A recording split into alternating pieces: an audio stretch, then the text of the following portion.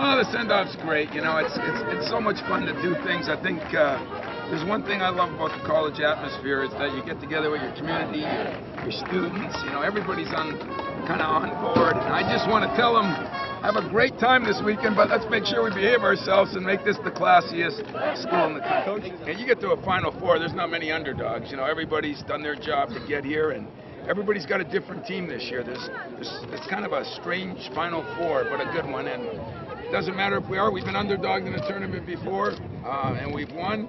We've been favored and we've lost. So. Uh, every year it's, a, it's just a new challenge. It's all part of uh, having a great program. I, I think getting people that are enjoy enjoy what we've done and, and are a big part of us, you know. And so uh, there's no question that it's great to have this kind of turnout, and I'm happy. I think the players are going to really enjoy it, and uh, hey, we're going to keep going and see what we do.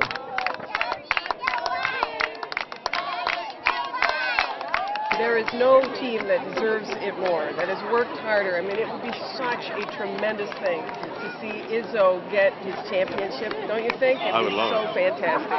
Go,